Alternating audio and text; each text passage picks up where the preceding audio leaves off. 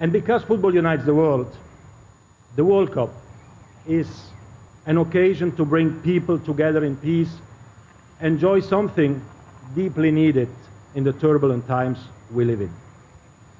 Seven months ago in Doha, at the occasion of the World Cup draw, when the world was watching, I made a plea for peace on behalf of the global football community.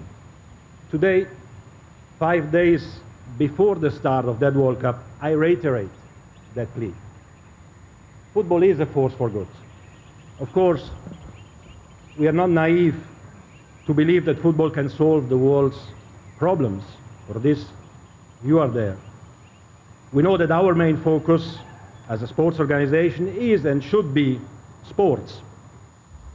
But because football unites the world, this particular World Cup, with 5 billion people watching it, can be the trigger for a positive gesture, for a sign or a message of hope.